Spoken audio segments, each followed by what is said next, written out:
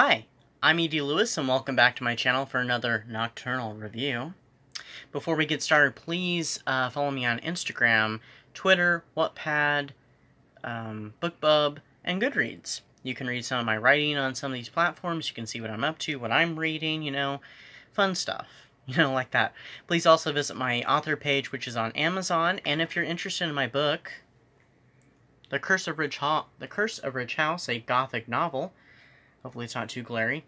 Uh, it is available um, in Kindle edition and paperback only from Amazon. The Kindle edition is only $2.99, although later this month it is going on special for, I believe, 99 cents. I can check in with you next time with that.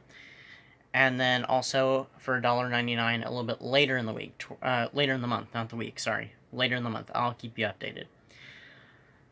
Also, if you're interested in um, MM erotic fiction, I do have a short story called Alone with the Professor. It is 99 cents and available only in Kindle on Amazon.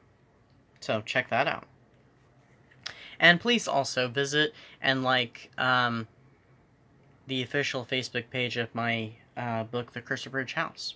All the links for these are down in the description. So, well, um, I'm just going to go ahead and get started because there's not much else to talk about, uh, really, right now.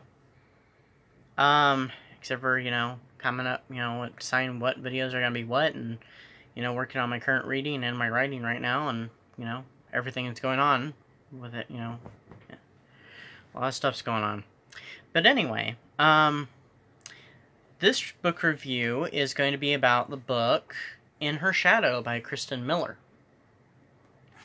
Um, it is a gothic romance, gothic thriller, um, gothic mystery. It's actually a current book. It came out this year, 2020.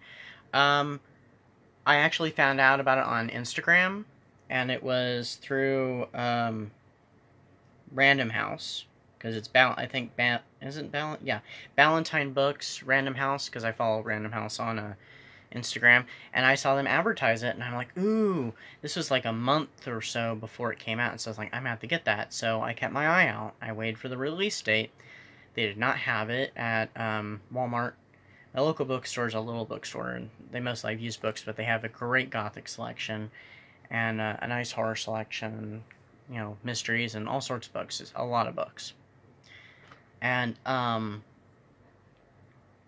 so I had to order it, and um, I was very excited when I got it. I did not read it right away though. I actually started reading it on vacation. I made it part of my summer reading uh, TBR that's on Instagram, and this is it was the first one listed on their boat. It's not the first one I finished because I did two shorts. I did a short story, this, another short story, and then two novels, and I'm almost done with that reading list. I'm on, uh, Psycho was on one of them, which I've already done a video on. And currently I'm on The Haunting of Hill House, and I've got like 30 some pages left of that. So I'll be done with that one soon. I'll have to come with my new reading. So, um, this book is a retelling of um, Daphne du Maurier's classic, Rebecca. It is a modern reimagining and retelling of this story. Um, which is also what drew me to it because when they advertised it, it had this really cool graphic that showed just the house in the woods and the woman, and then the words in her shadow showed up, and it was really cool. And it said, you know, calling fans of Rebecca and Daphne du Maurier or something about that, and so I'm like, ooh, I gotta, I gotta check that out. I'm glad I did.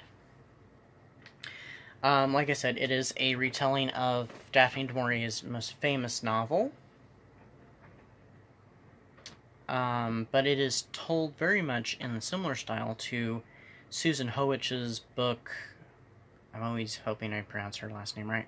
Uh, the Dark Shore, which I've also done a review on, because it's told by various characters' point of views as the story unfolds.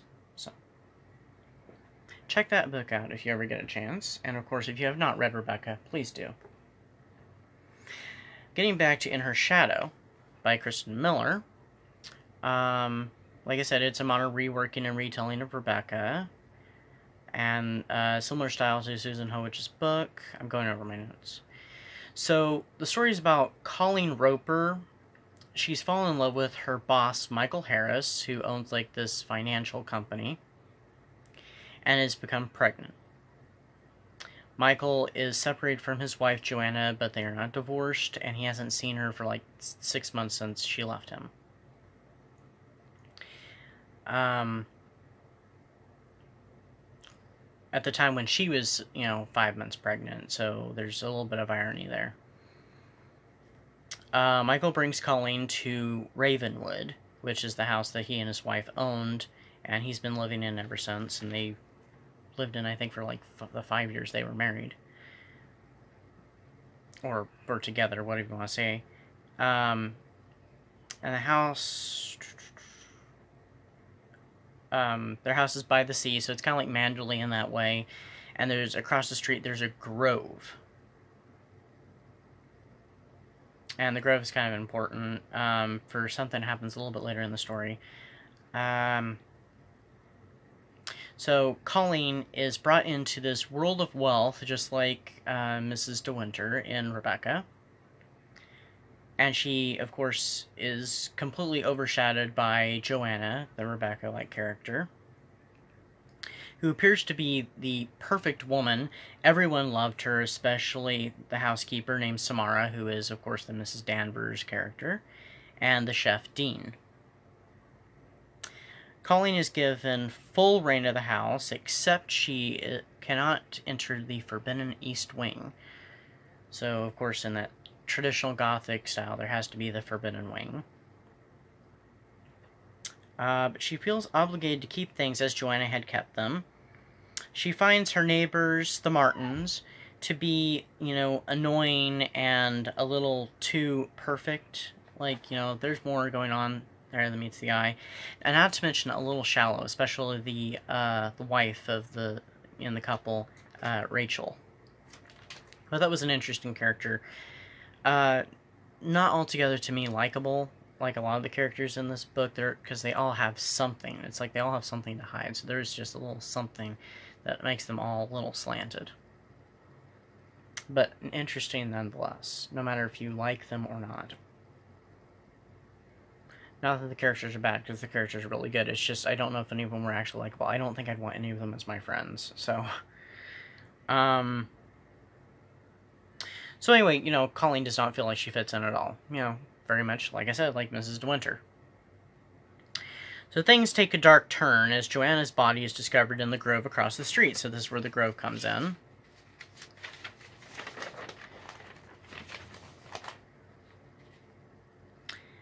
Uh, she's, you know, she's found by a woman who's walking her dog. Her dog takes off and starts digging up, and they find her body, you know, her body is unveiled. Except for there's no baby in her womb and there's a bizarre religious art, uh, art article with the body, and she was an atheist. So, big question is there, you know, how'd she get there, who murdered her, and, you know, what happened to the baby, and the whole mystery of the religious artifact. So that's all I'm going to tell you about the plot. So you got to read the book.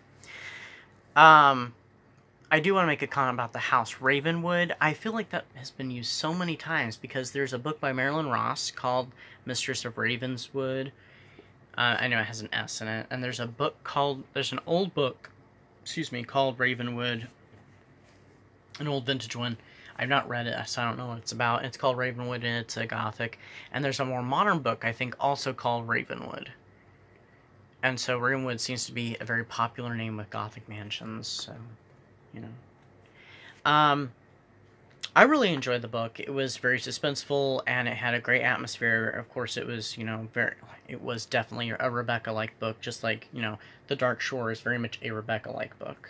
It's, you know, has some, has some similarities in plot and stuff.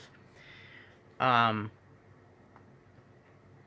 but, uh, and it's you know it's very intriguing and stuff, and it's definitely a page turner with a twist at the end. Very much like Rebecca has a twist in it. This has a twist, a very bizarre twist um, that I did not see coming at all, and it did leave me a little confused. And I had read that um, some people, well, hold on. no, I'm gonna go ahead and, and say that now. I had read some review, like, glimpsed of the reviews, trying not to spoil the story for me, which none of the ones I saw did spoil it, except for they said that the ending was inconsistent with the rest of it. And I thought, well, maybe, maybe they missed something or something. You know, I had no idea what they were talking about.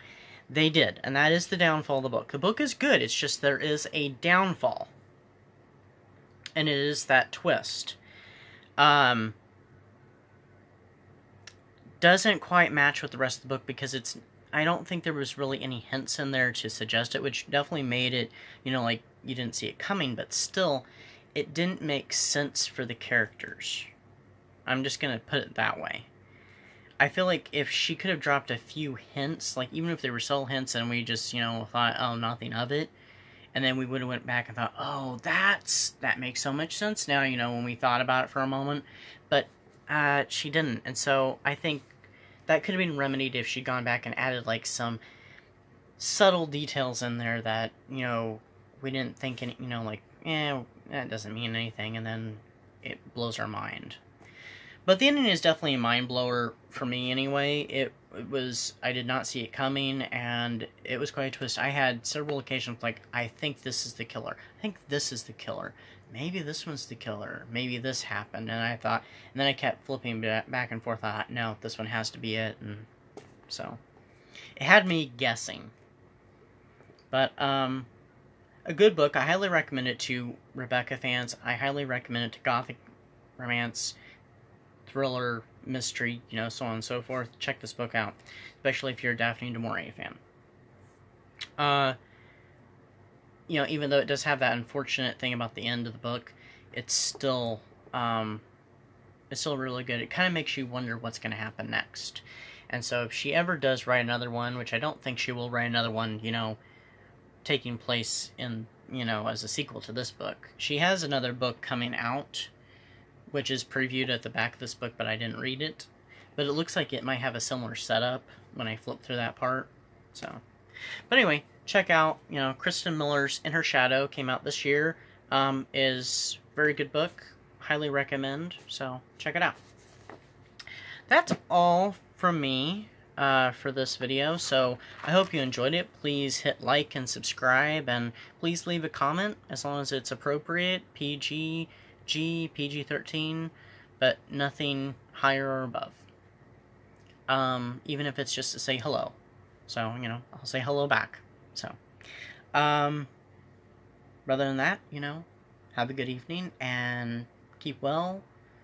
Uh, be kind and courteous to others. Black Lives Matter. Um, and, uh, you know, stay safe. So, alright. Bye bye.